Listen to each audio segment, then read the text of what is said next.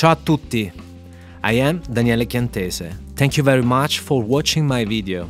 I hope you enjoyed my playing. Now let me show you the cymbals I was using in this clip. A Byzance vintage 12, 14, 16 inch smack stack. 15 inch Byzance extra dry medium thin hi-hat. 8 inch artist concept model crasher hats.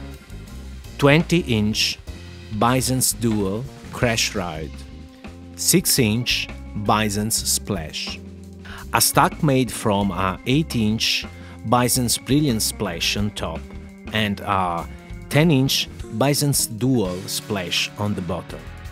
22 inch Byzance extra dry medium ride. 18 inch artist concept model deep hats. 20 inch Byzance vintage trash crash.